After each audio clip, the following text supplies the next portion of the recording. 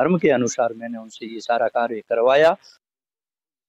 कांग्रेस प्रदेशाध्यक्ष गोविंद सिंह डोटासरा एक दिवसीय दौरे पर लक्ष्मणगढ़ पहुँचे, जहाँ लक्ष्मणगढ़ के मणि महल में दोपहर को आयोजित दो दिवसीय शैक्षिक सम्मेलन में शिरकत की। कार्यक्रम में बड़ी संख्या में उपस्थित शिक्षकों को संबोधित करते हुए डोटासरा ने कहा, शिक्षा का क्षेत्र बढ़ने के साथ साथ बेटे और बेटियों में तनाव का माहौल देखने को मिल रहा है। और छात्र छात्राओं की आए दिन आने वाली सुसाइड की घटनाओं ने हमें सोचने के लिए मजबूर कर दिया है। अब सबका प्रयास होना चाहिए कि आने वाले समय में बेटे और बेटियों को कैसे अच्छी शिक्षा दें इस मौके पर लक्ष्मणगढ़ पंचायत समिति प्रधान मदन सेवदास, श्रीगंगानगर, खालसा लॉ कॉलेज के सेवानिवृत्त प्राचार्य चंद्र भानु त्यागी, शिक्षक संघ शेखावत के प्रदेश महामंत्री उपेंद्र शर्मा, सीडीईओ लालचंद वर्मा, शिक्षक संघ शेखावत के जिलाध्यक्ष विनोद पुनिया, संयोजक मनफूल बगडिया, जिला मंत्री नागरमल गढ़वाल सहित अनेक पदाधिकारी और शिक्षक शिक्षिकाएँ मौजूद रहे।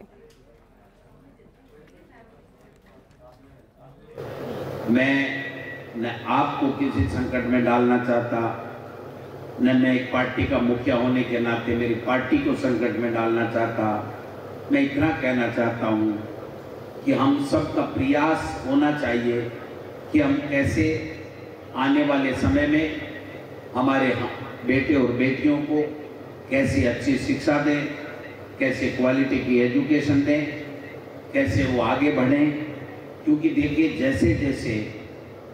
शिक्षा बढ़ रही है,